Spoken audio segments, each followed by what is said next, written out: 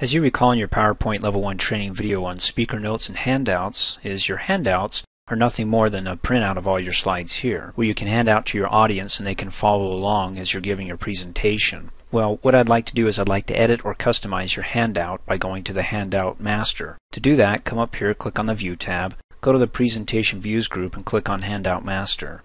Up at the top for your handouts you can add headers and footers, or another way of doing it is coming up here, clicking on the Insert tab to the text group and clicking on Header and Footer. There's the header and footer. Of course, it's on the notes and handouts, not the slides. Down below, I'll check the box to add a header. Once I type it in and click Apply to All, you'll see it added up here in the header section.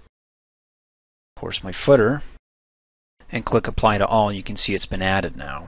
Next, the default is six slides per page. Well, you can't see much when the slides are this small for my handouts, so what I'd like to do is go to my Handout Master tab, because I'm still in the Handout Master view. Go to the Page Setup group and click on the slides per page. You can see it's six. I want to change that to two. So it's larger, they can see what's on the slide and make their notes to the sides here or underneath it. They have enough room.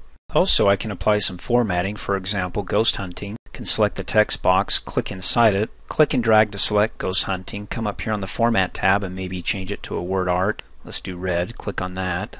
It's not too bad. I can even increase the size with it still selected. I can right click on it and up in the mini toolbar change it from 12 to 16 and hit enter. It's a little bit bigger, isn't it? I come over here and click on the text box for the date and delete it. And then I want to be able to center this text box or move it over a couple inches. I can either click and drag it or when I select the text box, come up here on the Format tab to its size group and click its expandable dialog box button. Go to the position tab here and let's type in 2 inches from the top left corner. Hit the tab key, close out, it bumps it over 2 inches from the top left. Of course it's not centered now within the text box so to do that I can just right click on it, go to my mini toolbar and click on center and click off. Looks much better.